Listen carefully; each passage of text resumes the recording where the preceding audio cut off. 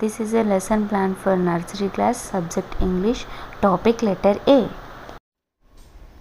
Music Smart Word Chant A is for apple, red and sweet. A is for axe that chops the meat. A is for ant, so small and quick. A is for album, full of pics. A is for arrow, straight and narrow. A is for all these, now you know. Letter A. Let us learn more about letter A. A story. An alligator is sleeping. An apple roll under his tail. Ants use an arrow to move an alligator tail. And ants happily eat an apple.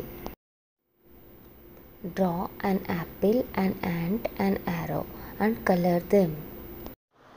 Write the letter A in air and create the letter A with ice cream sticks.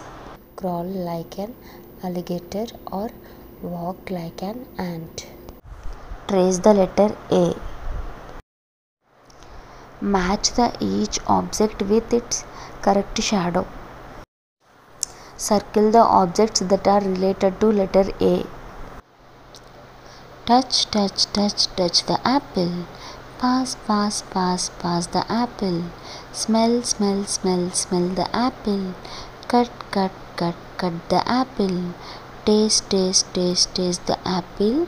Sweet, sweet apple. Juicy, juicy apple.